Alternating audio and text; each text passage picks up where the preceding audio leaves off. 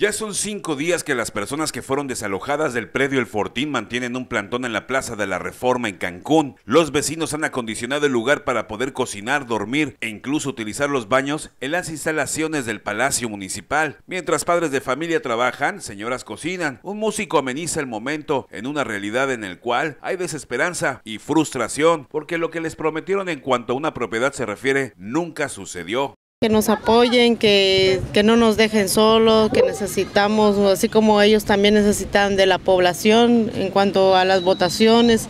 Ahora pues les hacemos un, un, llamado, ¿no? Que, a que nos apoyen sinceramente. No solo, no que lo hagan por nosotros, sino por nuestros hijos, nuestros hijos que ellos no, no tienen ni la deben ni la temen. Luego de reunirse, el gobierno del estado prometió darles vivienda, el ayuntamiento el terreno. Sin embargo, hay la incertidumbre de si realmente lo van a cumplir porque de entrada ambos tuvieron que ver con el desalojo, ya que el predio está valuado en millones de pesos y al parecer ya tiene comprador. De igual manera se habla de que el problema del Fortín ya se politizó y habría varios personajes tras el movimiento, ya que en muchos casos las personas que ocupan los predios fueron víctimas constantes de los engaños y promesas de políticos que nunca se cumplieron.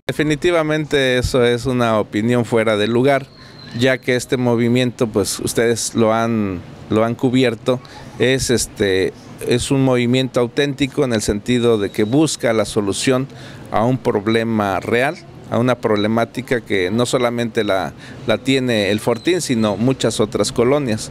Existen los casos que también hemos mencionado y que requieren de una atención como lo es este, la Mario Villanueva en la región 245, el Sheriff en la 236 y Miguel Hidalgo en la 202, donde también se están ventilando procesos judiciales de tipo civil este, en contra de los posesionarios y en un momento dado pudiera derivarse en una situación similar a la del Fortín. Con imágenes de Giovanni Tamayo, Juan Carlos Mendoza, Notivisión.